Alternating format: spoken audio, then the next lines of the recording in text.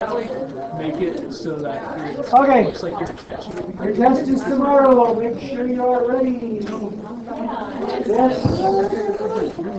I feel like this is pretty good practice, but I will just basically tell you this. Uh, this test will not be a bunch of AP, multiple choice kind of stuff. It'll be front side, have you been doing the homework? Did you learn the material I taught you in the booky kind of way? The back side will be a free response, two, uh, two free responses in the AP kind of style. So, if you do this well, it'll get you some studying of the big facts, and it'll get you pretty ready. The key is online already, so it's there when you're ready. I will be happy to help you in seventh hour, uh, either on this stuff or anything you feel weak on, up through set 90, what did I say this is? 97. If you want extra practice on anything, come seventh hour, I can do that. Uh, I will also be here before school tomorrow if you want to prepare or practice anything else. Understood? Yes. Test is tomorrow. Be ready.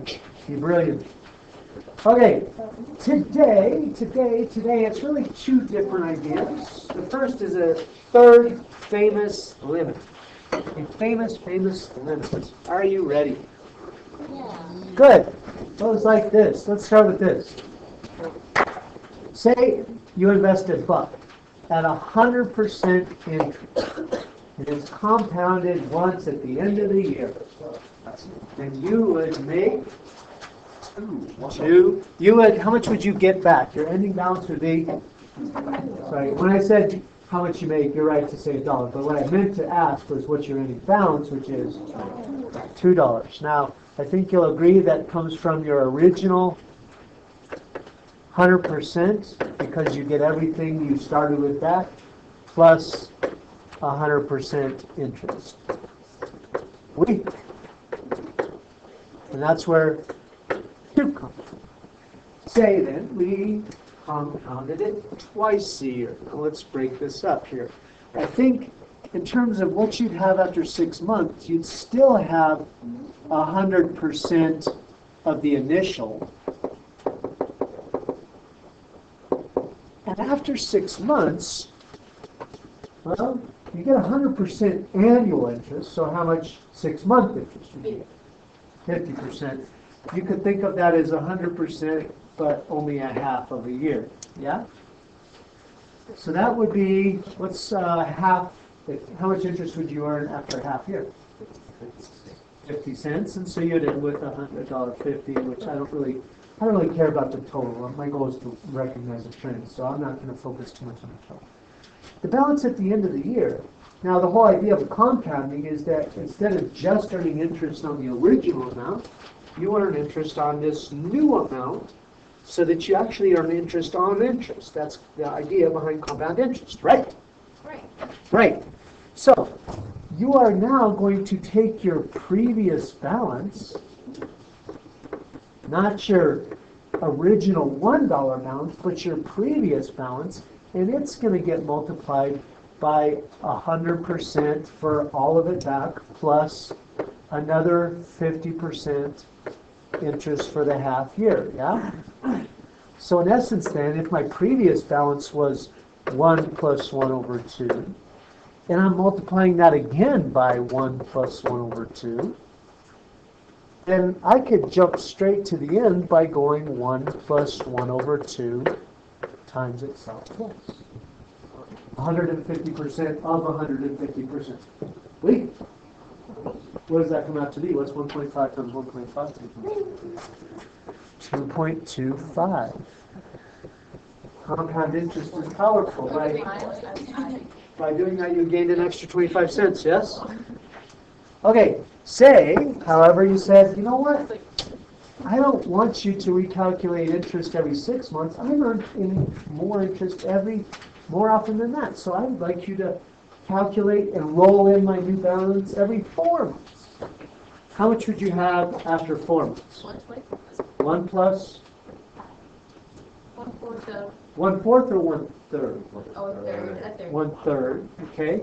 After eight months, you take your previous balances, which is one plus one and third, and multiply it plus times one hundred and a hundred percent divided by three. And at the end of the year, you take a hundred and hundred percent thirds of that. So at the end of the year, you'd have one plus plus hundred percent divided by three times itself, how many times? Three times. What is four thirds cubed? Sixty-four twenty-seven, so please get out your calculator, what's sixty-four twenty-seven? Probably, give me three decimals, two point three seven zero. Okay. Okay.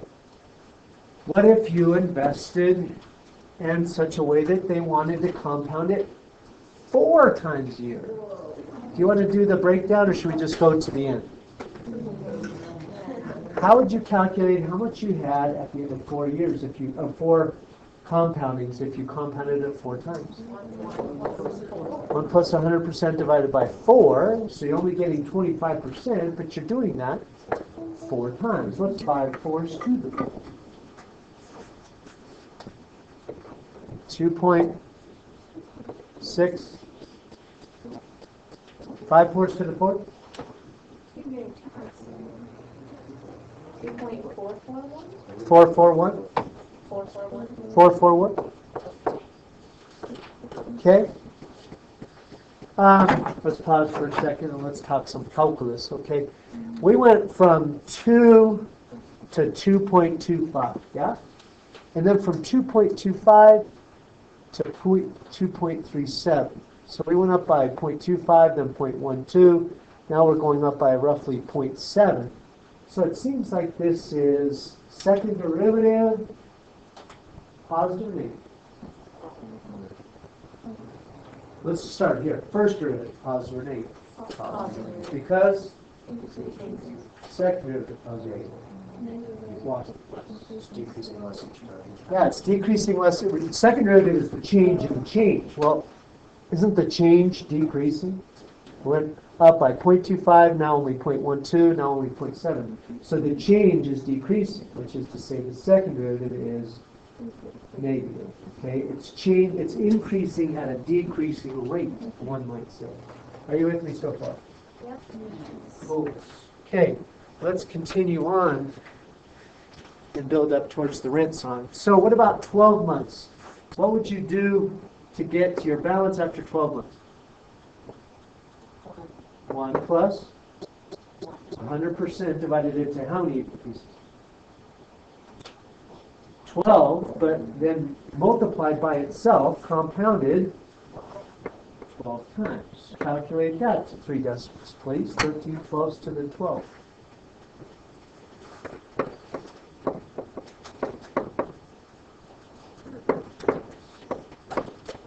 Two point six one three. Okay? What if you did compounding daily? One plus one hundred and three sixty-five, forget that leap year stuff, to the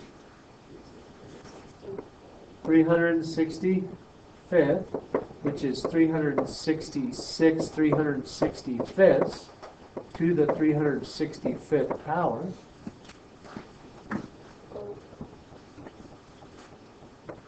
Two point seven one five. Okay? What about every hour? One plus one over three hundred sixty-five times twenty-four, which is, say that again, eight thousand seven hundred and sixty. To the eight thousand seven hundred sixtieth, which I suppose is like eight thousand seven hundred sixty-one, eight thousand seven hundred sixtieths to the eight thousand seven hundred sixtieth power. Two point seven one eight. Beautiful. All right. If you did this continuously, let's jump every second, um, then yeah, continuously, that would mean that we do this over and over again. So, what is the denominator approaching? So 1 over x with x approaching infinity. What about the x? to the x, and this is approaching e. This is in fact the definition of e. That is where e comes from, or one of the ways to derive e. Um, it is the idea of, gosh, if you look at this, it went, it went three halves to the second, and then four thirds to the third, and five fourths to the fourth, and then 13 twelfths to the twelfth. What's happening in the base? It's approaching one. And the exponent is approaching infinity. Now, this is actually an other indeterminate form we haven't covered yet. Approaching 1 to the infinity, I'm not sure what that says, is often related to E.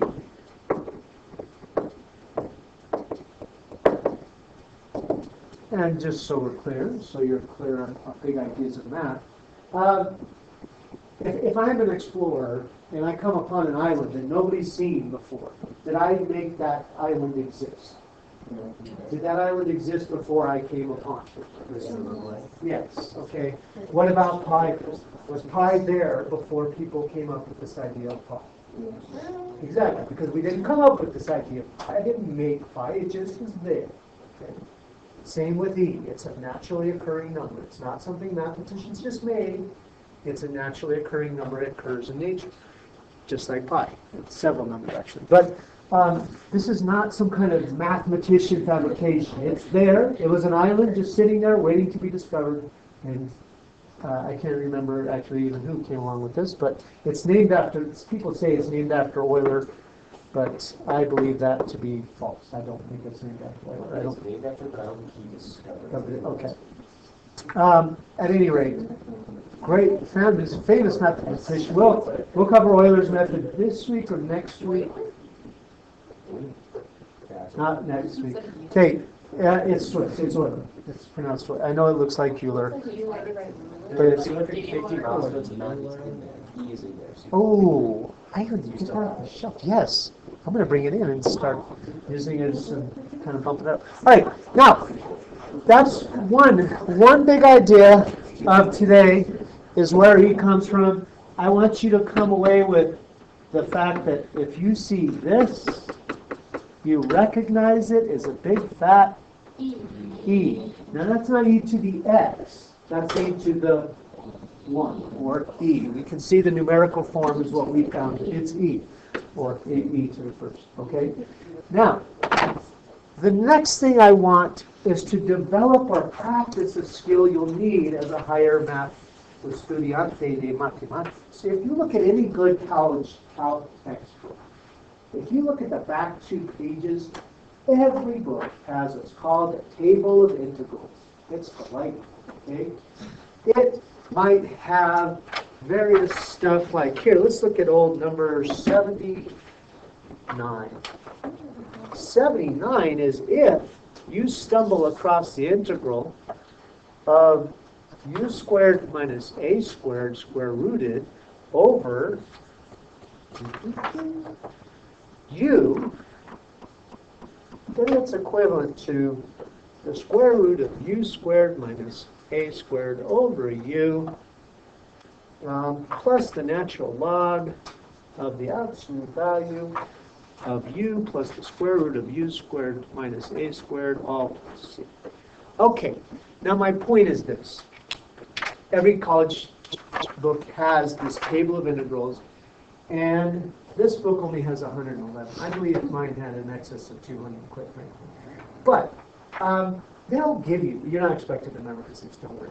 but you will know, have to know how to adapt the table of integrals to what you have. It's not going to look like this. It'll be the square root of 3x squared plus 2, and you'll have to know how to adapt it. Now, that is very much a skill that I need to impart. This is a good time to start practicing that skill. You could think of it kind of like a u-sub. This, in fact, you'll see a lot of overlap between this and u-sub, right? All of these are some tweaked version of one of the famous limits. You need to figure out, all right, how has it been tweaked and what is it equivalent to? And then again, it'll borrow on the u-sub skills and limit operations. So, we'll do one or two together, and then you'll try one, and hopefully you'll start getting the idea.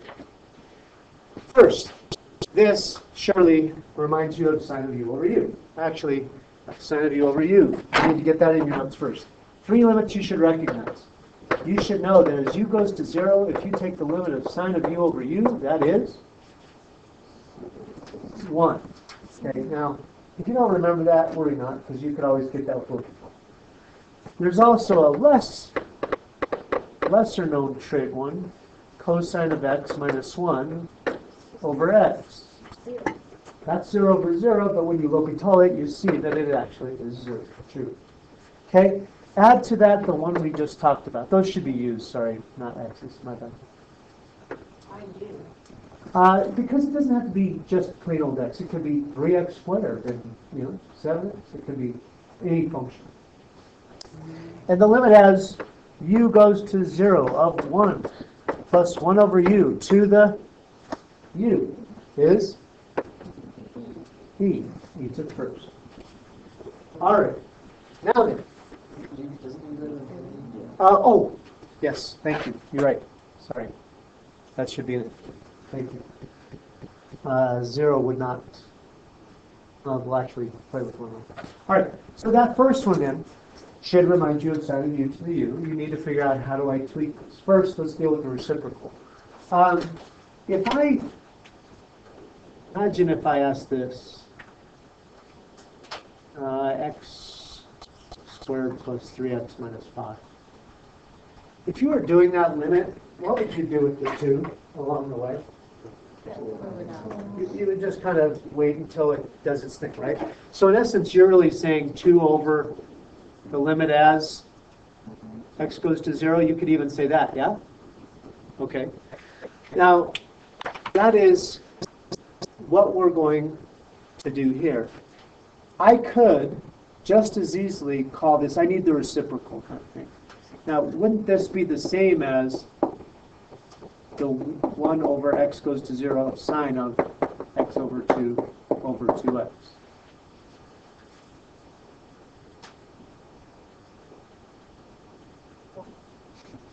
Let's go this way. I'll do this in two steps. Okay? Would you agree with this?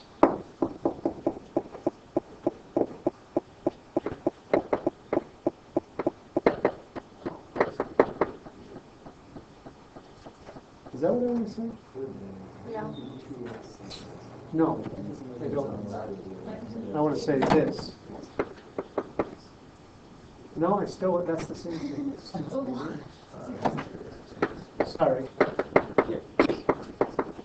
Okay, would you agree those are the same? Do you agree those are the same? Okay.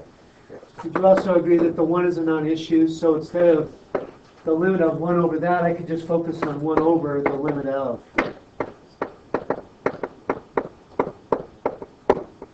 Agree? Mm-hmm. Okay. Now let's deal with the mismatch between u and x over 2 and the 2x. In other words, let's deal with those two. things. Now the one you should sweat is the sine argument. That's the one that has to be made just right. The 2x, you can play with that because it's just a normal x and you can pull the half out or bring it. That's not an issue. It's the sine argument that's an issue. So focus on this. We're going to let u equal x over 2 so that this then becomes sine of u, like I want it. Right? Now we need to make two changes to compensate or go along with that. First of all, 2x. If if I let u equal x over 2, then x is, or sorry, x is 2u, so 2x is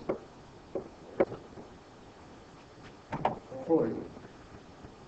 Let's say that again.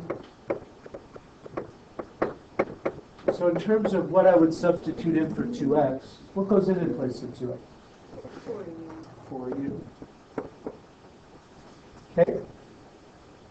What about the limit if x goes to zero, what would u go to? Because x goes to zero, u over two goes to zero. So that also is. All right, now we're this close. We just have that four issue. What can I do with that four? I can't move it out. It's one over a fourth. You could actually move that up. I don't know if that's what you said, but either way. Now we're good to go. What's the limit equal to? Fourth, which is for, I'm showing a lot of work. You could def- definitely can condense a few steps. That's the idea. Are you with me? Okay. Let's try an E. This will also deal with a little exponent rules, obviously. Um, let's start with choosing your substitution. Now again, this is not the issue, in here is the issue. Because that's inside the argument, anything that's inside the argument, that's where you want to focus on making the u, because there's not a lot you can do. Once it's inside a function, you can only tweak so much. Stuff outside, like the 2x or the exponent, that I can play with. But the inside a function, that not so much. So I need x over 2 to equal 1 over u in order for this to start to look e. Okay? Now I did that by saying what I have and what I need. My substitution came from what I needed to make and what I had to start with. Now that rules all other things then. What about the x? If I want to replace x in the exponent, what is it in u terms?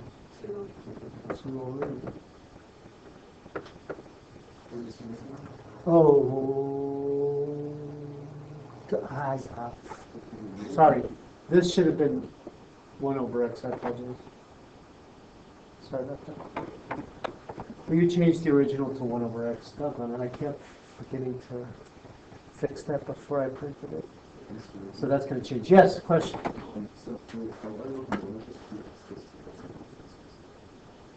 The limit here? X goes to zero is what I want. That's what.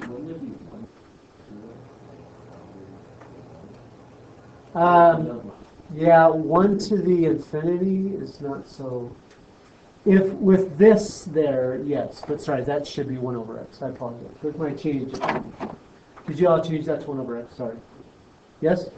Okay, sorry. Now, um, I need to sub for that one over x.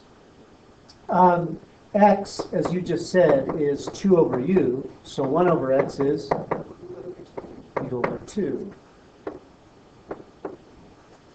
And last but not least, the limit. As x goes to 0, and that probably should be from the positive side, u goes to what? If x goes to 0, u goes to... As x gets smaller and smaller, what would u get? Bigger, yeah. What's 1 divided by a huge number, or a small number? A huge number. Okay, they're inversely related. As x gets small, u gets large.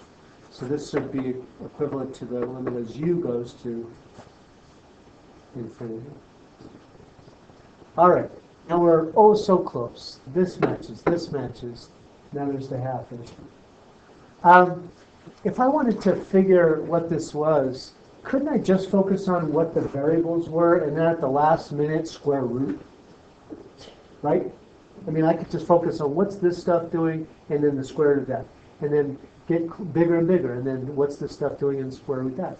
In essence then, this is the same as saying I could take the limit on all the variable expression. And then at the end, square root the results, and it would be the same as if I square rooted inside. It behaves a little like a coefficient. So I can do the numerical part of the Okay? Well, what is this? That all interior e to the half. So this is.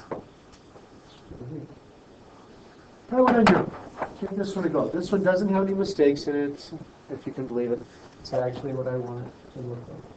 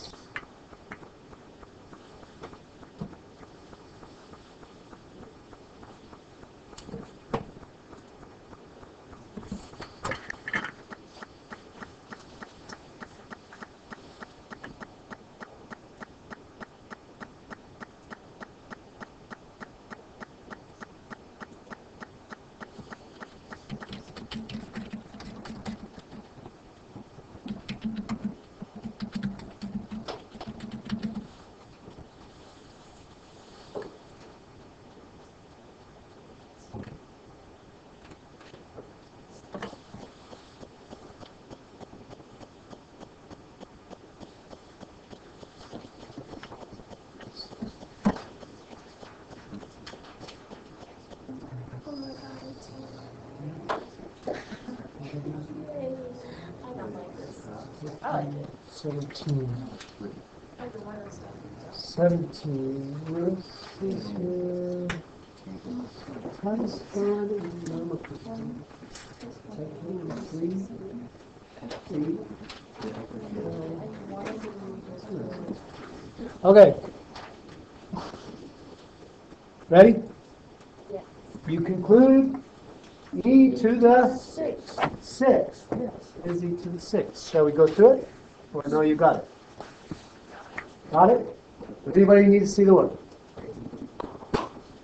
Yes? Sure. I appreciate that you're willing to say so. All right. I focus on the inside and I let 1 over u equal 2 over x. Um, with that substitution, then that becomes 1 plus 1 over u, and I'm started. I'm on my way. I then say, what about the 3x? Um, if x is 2u, if I cross multiply, then 3x is 6, so this becomes 6. Last but not least, the limit. Because x and u are in the same place, as x gets infinitely large, u would get infinitely large, or vice versa. So that is going to be u to the infinity. After that, you isolate the u definition. The u definition is just this piece, and then I can figure out what that is, and then take the outcome to the sixth, and that's what. Okay? Questions? Okay. Bene, bene. Questions on 99 and 100? 99. Five? 5. 18. You can skip 6, by the way. Sorry. I didn't like that tangent line question. It was supposed to be compare and contrast. 5. Did I hear 5 and 18? Is that correct? Okay. 5 and 18. What? 20. Sorry. Six. did you say, and 22? No, six. Six. Skip 6, yes. 22? Yeah. Okay. Let's call that good. All right. 99.5. One, One? yeah, and eleven. Ay, ay, let's not call that good apparently. One and 11. All right, got it. Let's call that good. Five, 99.5. Is that replaced? No, that's normal, okay.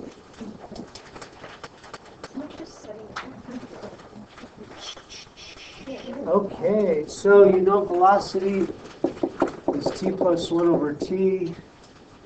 You know position at time 3 is 5. And you want position at time anything.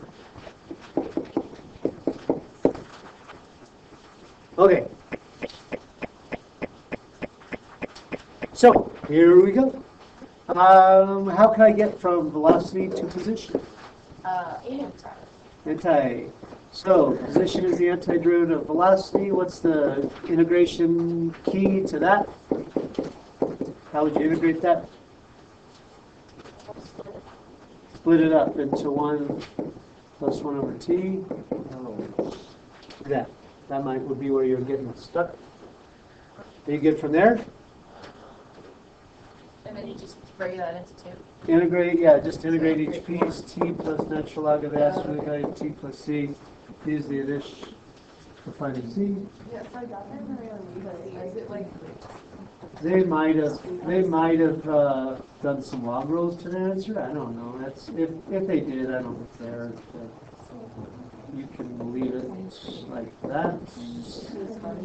Or actually, c then is, what, two minus log three? So there you go, t plus log t plus log of t plus 2 minus natural log of 3. There you go. I suppose they could put those two together by log rules if you wanted to, or I don't care. Okay? 18. 18. Find the general solution to e to the 2x minus 3y. How do you split these variables? How do you separate the variables? Um, Unfortunately, then you have natural log on the differential, and that's not good. Try something else. Yeah, ease, separate the ease, how? Like that. Quotient rule for exponents, sweet. Then you have e to the three y dy equals e to the two x dx. Mental use of integrate, and I don't think they ask you to solve for y, so you can just leave it once you integrate. Does that get you going? Okay. That's a bit of a trick. It's one thing, once you see it, generally you don't forget it, but it does help to see it once. Okay, 20. Is 20 still a question? On 99. Oh, 20 is a replacement.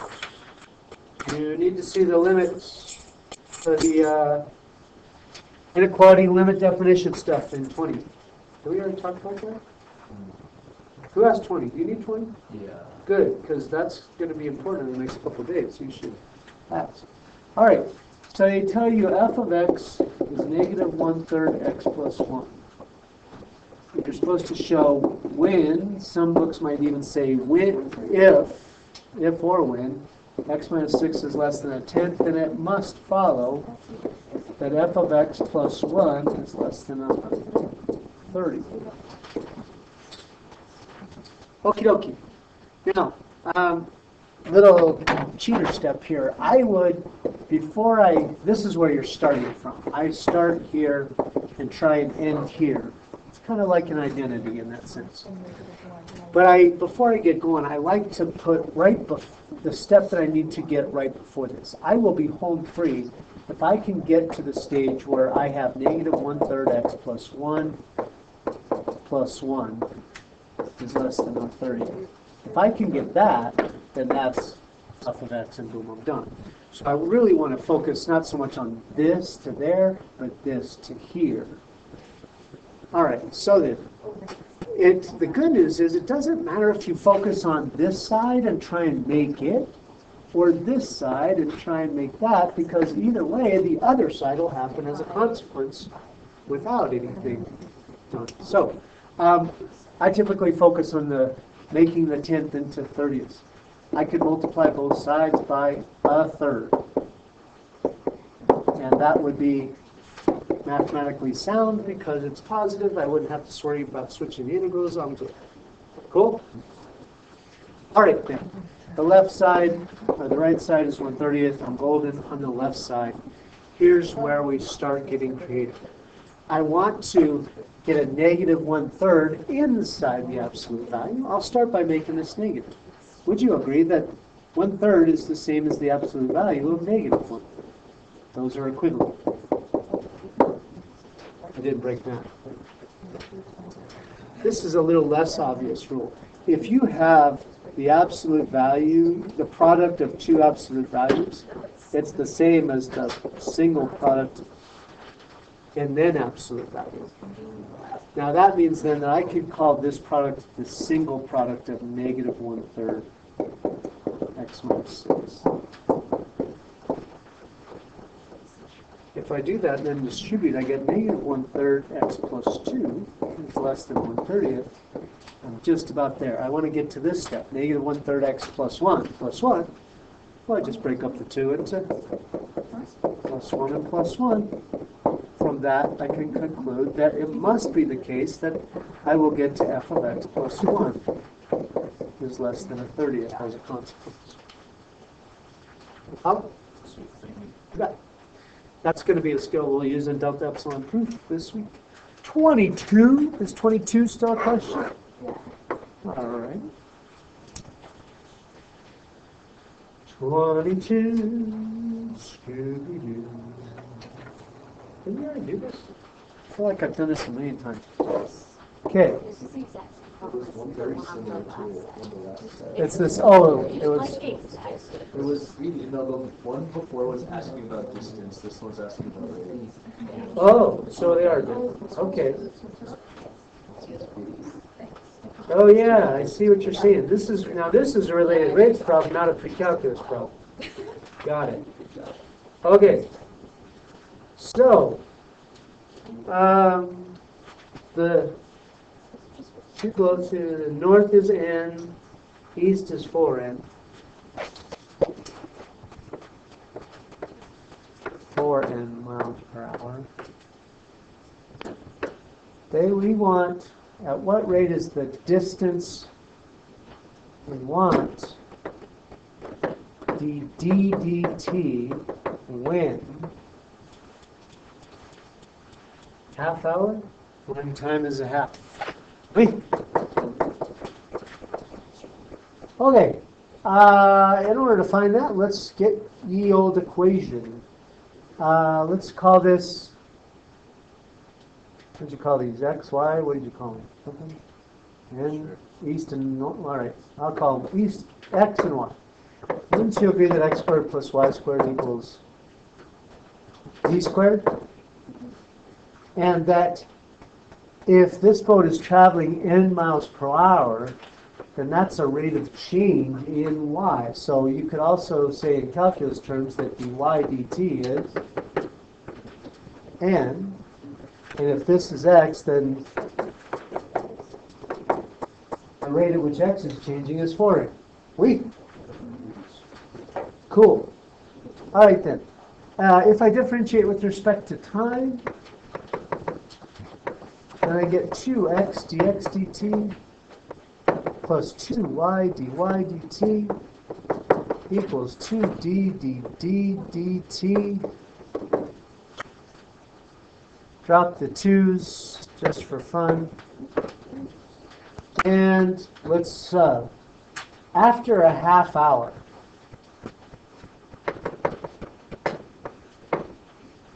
what's the y distance? 10 miles per hour for a half hour is half n or n over 2. What's the x distance at? 2n. And so by Pythagorean theorem, this would be something like 4n squared plus 1 fourth n squared, or root 17n over 2. If I get a common denominator, take out the n squared, and square root the denominator of 4. Very cool? So plugging in the instance, then, at the instant they ask, x is n over 2. The x dt is 4n. y is, ah, shucks. x was not n over 2, x was 2n, sorry dx dt was four n. y is n over 2. dy dt is n. d is root 17 n over 2. And dd dt is that which we are trying to find. Do the algebra, cha cha cha. Okay, cool. Set 100. Set 100. What? Oh. Oh, I forgot my little 1 and 11 off to the side. Sorry, my bad. Wishful thinking. 1. Not bad. 1 is.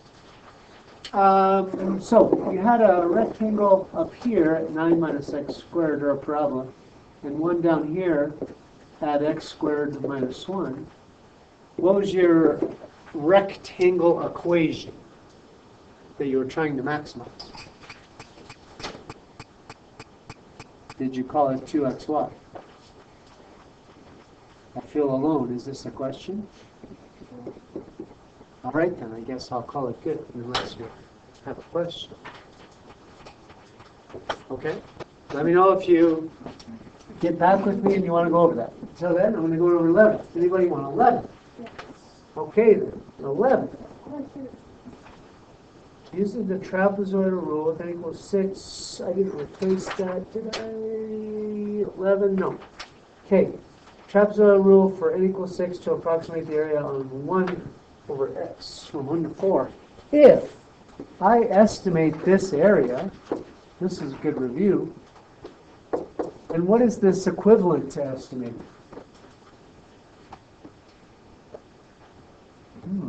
This is the same as the natural log of four. Lee? All right then. If you were to estimate this with six trapezoids, one to four, total region is three wide, and I'm breaking this into six trapezoids, so each part will be a half.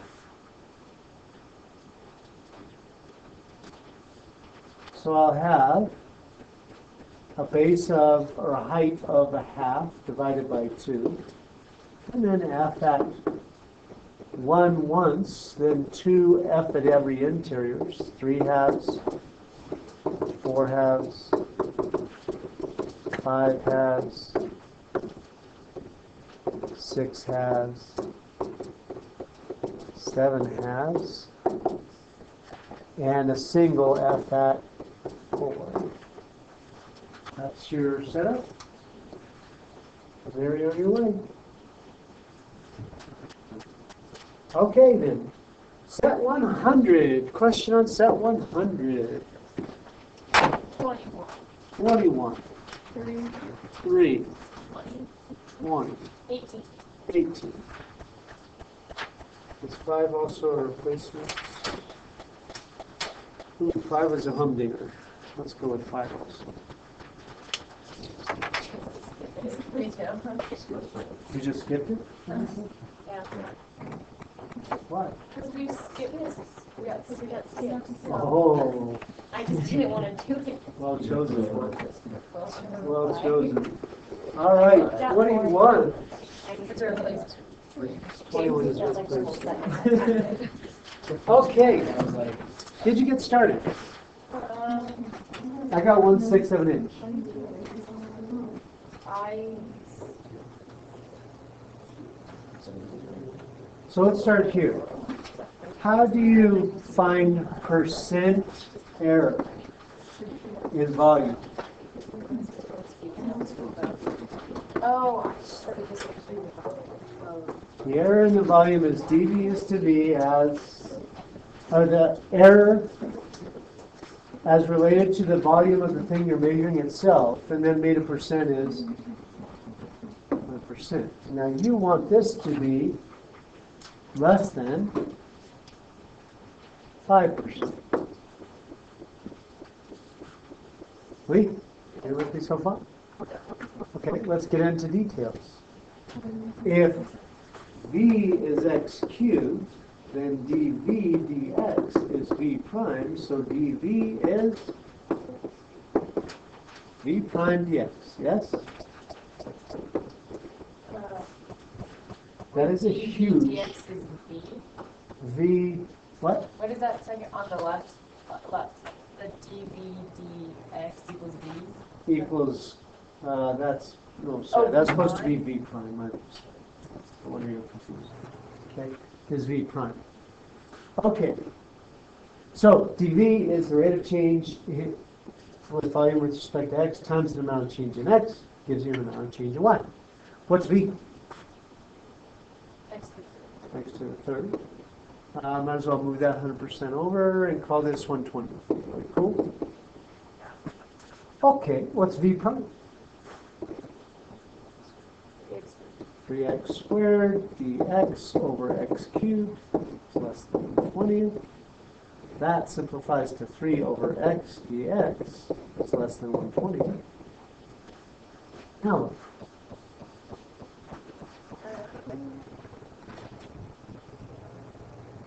There's one more thing we can put it. Okay, so you need to establish what are you shooting for and what do you know? What's the question? Let's go there. How accurate was the measure of the side? Okay, so how accurate, that means how much can I be off by? How much can the side be off by? That means what can the delta x be? And what is the differential form of delta x? dx. So the end goal is, how much can I be off by on the side? dx is what I'm looking for. That's what I need to get. So now, what is that? Read the problem. Ten. 10, yeah. So that's 3 tenths. So it's less than 1 20th.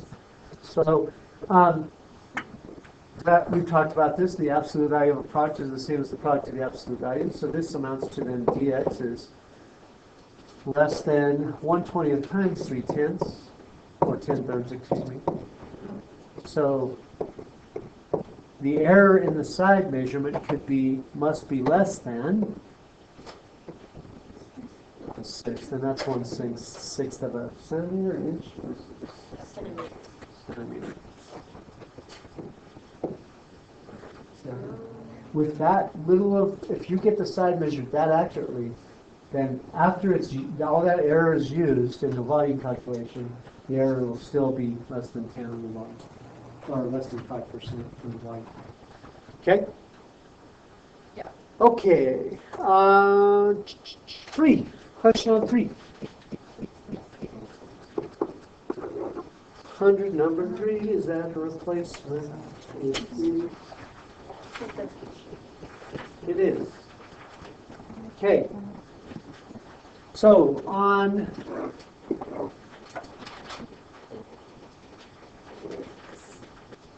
the first, if you were to illustrate f prime from the MVT, then please tell me what's the big idea of MVT for derivatives?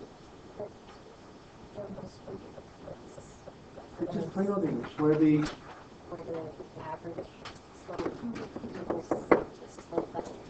Right, exactly, okay? Now, I know the average slope would be connecting these points. If the overall average rate of change over the interval is that rate, then there's gotta be at least one place inside that has that same rate of change. So what am I looking to draw? I'm trying to draw what? Slope at a point that's parallel to that one, so maybe about here-ish, now this will be eyeballing, but somewhere in there, yeah? Now the question then, if I'm not mistaken, is illustrate F at C from MVT and say, what is C approximately? About what point is this here? Okay, I would say anything in the ballpark of one probably is fine, so. Okay? Understand? The next idea is MVT for integrals.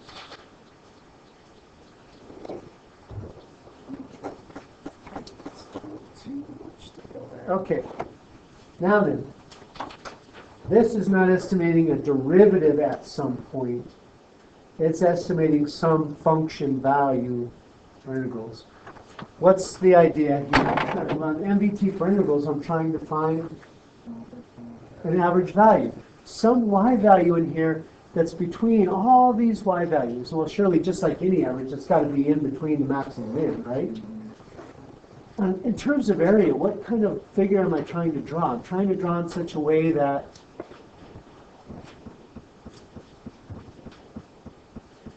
all the areas above are exact opposites of or equal to all the areas below. That is another idea of averages, is all, the sum of all the differences below should equal the all, sum of all the differences above. So it would have to be somewhere in here to make that problem happen. So I took a stab at something like, something close, to- I took a, let's use about 128. Megan Smith, What do you think? Let's use that. Megan Smith, Superintendent. So that, that one's basically just like eyeballing Yeah, it's very much an eyeball. I just wanted to see that you understood the ideas of.